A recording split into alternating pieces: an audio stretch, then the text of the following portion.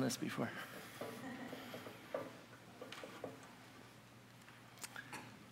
Let us pray.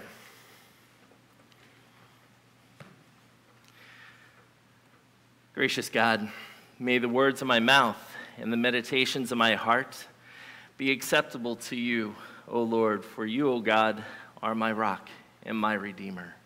Amen. Uh, so, question You ever had one of those weeks that started with everything on top of the world, and by the end of the week, it seems as though everything has hit the fan.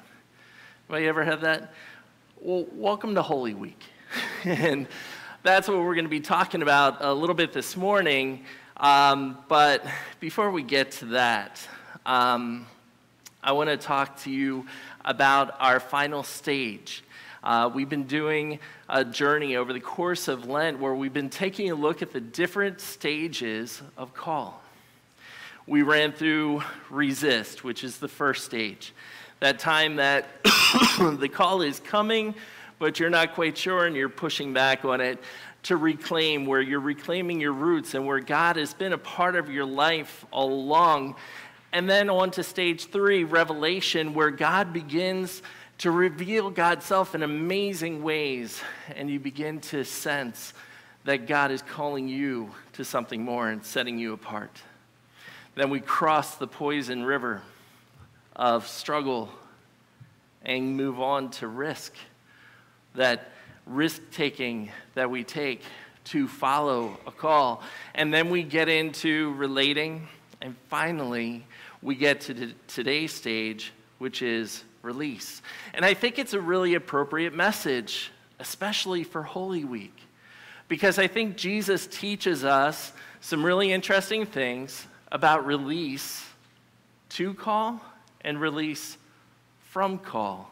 Um, and we'll talk about that as we walk through the week, but I want you to understand that. So, release from call. It can mean a couple things. It could be leaving a call, that the call that you were called to is done for now, the season of that call is over, and that God is transitioning you to something else. So it could be released from call, it could be leaving that call.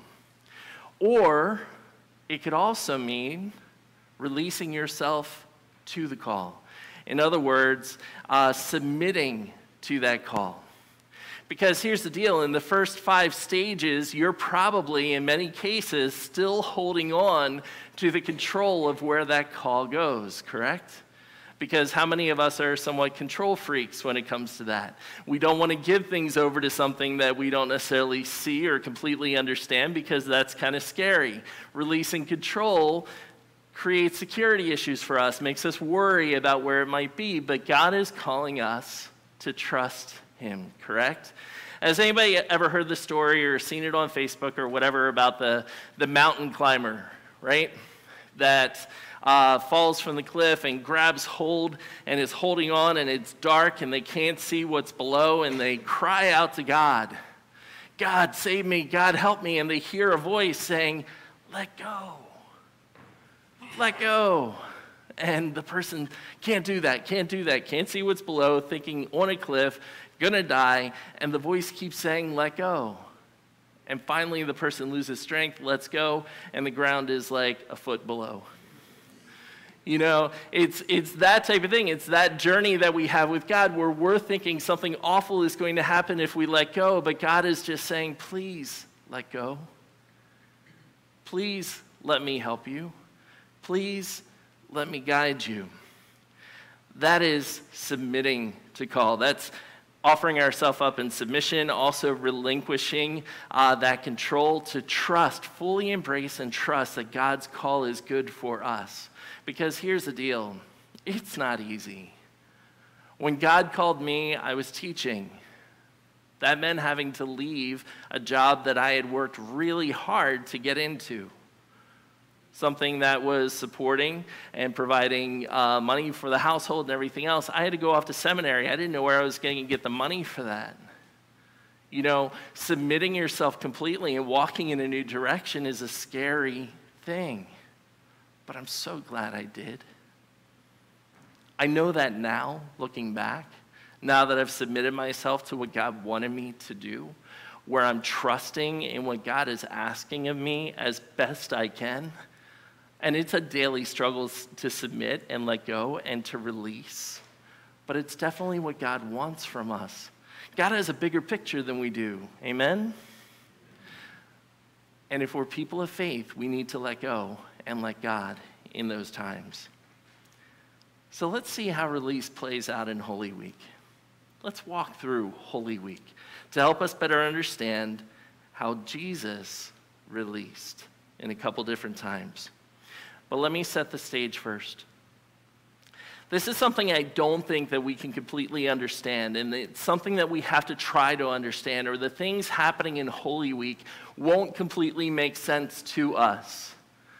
The people of Jerusalem, the people of that whole area, the people of Israel, were an occupied people. We don't get that. We haven't lived through that ourselves here in the United States. We have not been an occupied people. We have not had an outside force come in with their own government, with their own armies and everything else, and control every aspect of who we are. All right? So we have to put ourselves in a mindset of a people that don't even have control over their own liberty, over their own government, over their own security.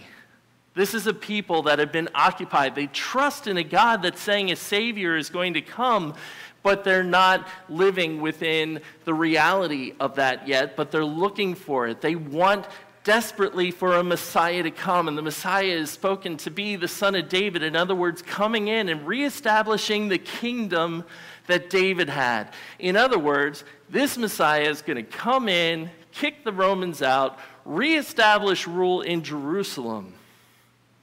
Okay? So the people are looking for this Messiah. Now, there's another group of people there too that are also struggling with this being an occupied territory. These are the religious leaders, all right? Caiaphas, the Pharisees, the Sadducees, all these people are living within the occupied territory as well, and they have some semblance of control. The Romans have given them the opportunity to have some control over the religious life of the temple and everything else, but it is a very tenuous relationship. If anything goes wrong, the Romans will come in and crush it. The Romans may even come in and tear the temple down that Herod the Great put up. And they're worried and they're scared in order to maintain what control they have, in order to maintain what peace they have, in order to maintain what religious authority and rule they have, depends on keeping shalom. It depends on keeping the peace. If anything riles it up, the Romans could come in and crush everything. And then they have nothing. This is the stage that we have set as we enter into Holy Week. Now, the other thing we need to know is that this is the time of Passover. People are coming from all over into Jerusalem to the temple as a pilgrimage to prepare for the Passover meal. So, what do you think Caiaphas and the religious leaders are worried about in an occupied territory? Lots of people are coming. So now, let's walk into Holy Week. So, our scripture today talks about Jesus sending disciples out to get the donkey or the colt. He tells them to go, tells them where to find it. Thank you, Aiden, for sharing that story. They go and they get the colt and they bring it back. And they put Jesus on the colt and they bring him in, and everyone is shouting, Hosanna, which is like, hooray! Okay? And what else are they shouting? Blessed is he who comes in the name of the Lord. Hosanna in the highest. Why are they shouting this? Why do you think the people are lifting this up? Because they think Jesus is there, or they know Jesus is there. Messiah. Messiah. And what did I say for an occupied people they're looking for in their Messiah? They're looking for someone that's going to come in and overthrow everything. So now you have thousands of people. And why do you have thousands of people? Because just before this, not long before this, Jesus was preaching in Jericho, like Alexa let us know, but he had also raised Lazarus from the dead. So all these miracles and this great preaching is happening, and then Jesus is coming in on a cult, which they have in their prophecies as what the Messiah would come into Jerusalem on. And in the church, we call it the triumphal entry. So here you have Jesus coming down, people laying clothes and people laying palms down, people shouting, Hosanna, thousands of people coming into Jerusalem. And they're thinking, this is the time. Jesus is going to retake the throne. Jesus is going to establish himself as king. The Romans are going to get kicked out.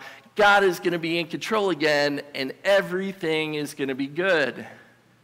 Now, what did I say about the religious leaders? They're kind of worried about all that, right? Not because they don't want a Messiah, not because they don't want God to be in control of Jerusalem and everything else, but because they're worried about the Romans. They've lived under this occupation, they've seen the horror that the Romans can do. They're worried. So, what do they say to Jesus? Tell them to be quiet, tell them to hush. And Jesus says, you know, even if they were quiet, the stones would begin to shout praise. Hmm. So we're really setting the stage here for what's happening. So, entering Jerusalem with shouts of Hosanna, blessed is he who comes in the name of the Lord, people glorifying. What does Jesus do then? Jesus goes to the temple. And when he gets to the temple, what does he find? He finds money changers. He finds things happening in the temple that shouldn't be happening. So, what does he do? Now, meanwhile, he's got all these people following him, seeing him as the new Messiah, and he comes into the temple, takes the tables, overturns them, goes through the whole table, temple, and gets rid of all these people that are in there, saying, You have made this, this is supposed to be a house of prayer, you've made it a den of thieves. So, what do you think the religious leaders are thinking? Oh, great. They're going to see this this is going to be a rebellion. The Romans are going to come in.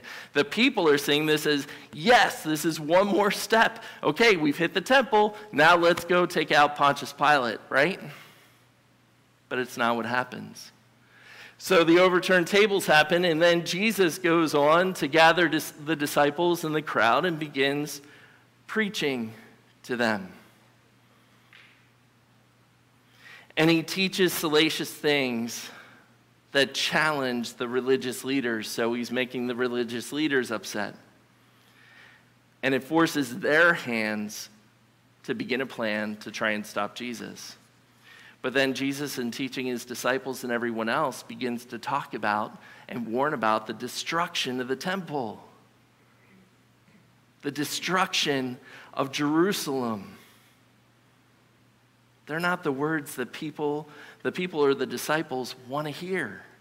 They want to hear, okay, this is the plan. This is what we're going to do. We've all gathered. We're ready. We're going to take this back. I'm going to be the king. You're going to be my people. God is going to be our God, and everything is going to be good. And instead, they're getting messages that the temple is going to be torn down, that Jerusalem is going to be destroyed. That is not what they want to hear. So you got the religious leaders putting plans together to stop Jesus. You got people that came in with the triumphal entry shouting Hosanna, hearing everything's going to get wiped out. These are not the messages that they want to hear. And then Passover comes on Thursday. And they're gathered together in the upper room for the meal. And Jesus takes the bread and breaks it and said, This is my body broken for you. Jesus broken? This is my cup of the new salvation. This is my blood shed for you. Jesus' blood shed?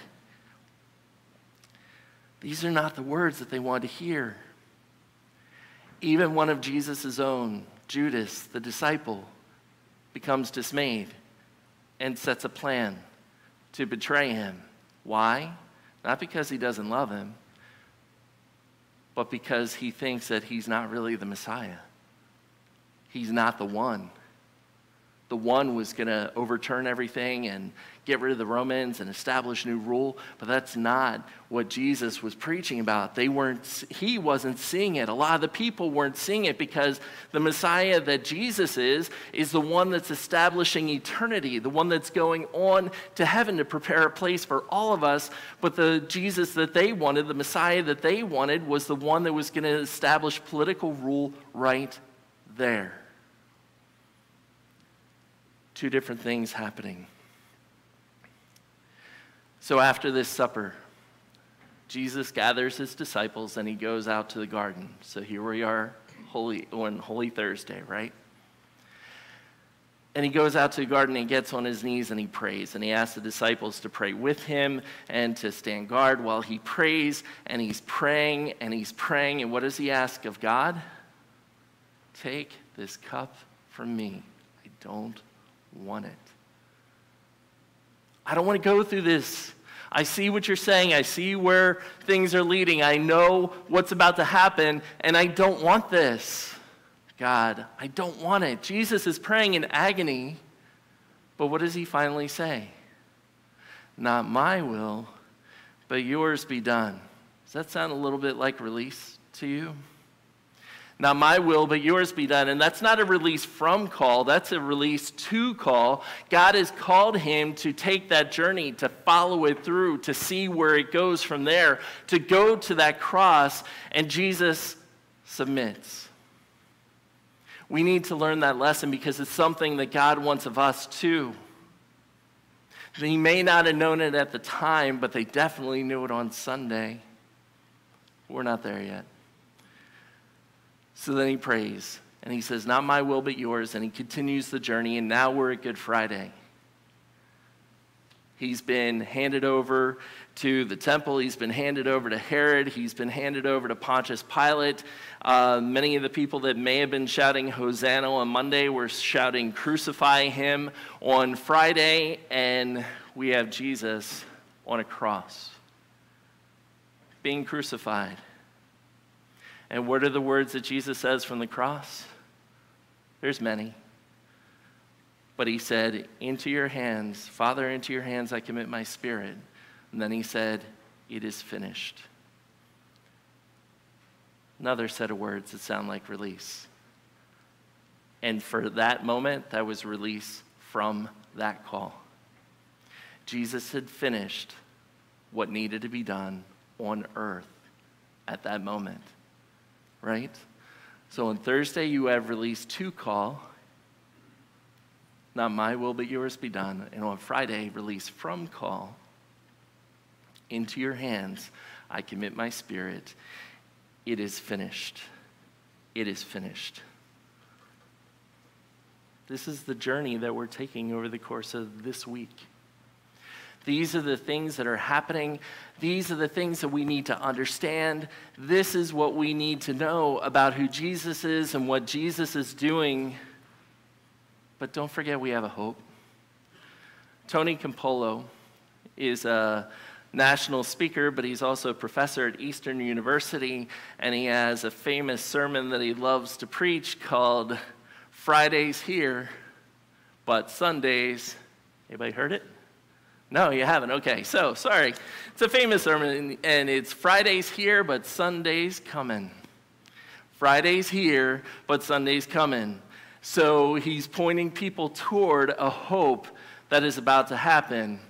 So Friday is here. Jesus has submitted, Jesus has released. But, brothers and sisters, Sunday is coming. So I invite you, come on Easter to find out how God is making all things new, how God is going to make all things new, how God made it, how God is making it each and every day. Beloved, Jesus had a call. Jesus was God's son, fully God, fully human. Jesus let it out. Jesus submitted. Jesus released he gave us an example of how we are to follow through that call. What made it easy for Jesus was processing through all those other stages that we've talked about so far. So, all the stages that we've learned over the past several weeks of Lent, reflect on them, pray on them, discern them. What is God calling you to do? Who is God calling you to be? What do you need to release in order to follow that call and allow it to be lived out in you? And are you willing to release enough, even when you don't see Sunday coming, to trust that Sunday will come, even in your own call? That God will follow through and be faithful in all of that. So, this is the message of Holy Week. So, as you go through this week, understand what's happening every step of the way. Jesus has entered Jerusalem. We have the triumphal entry. We have the shouts of Hosanna. Now walk us walk through with us as we hit Holy Thursday and as we hit Good Friday and then come and find out what happens on Sunday morning. Amen. Um, the discipleship reflection for this week. In order to understand release, I encourage us all to follow the journey of Christ this Holy Week through all of the services, as we will experience Christ's release for call in the garden, release from call on the cross, and God making all things new on Easter morning.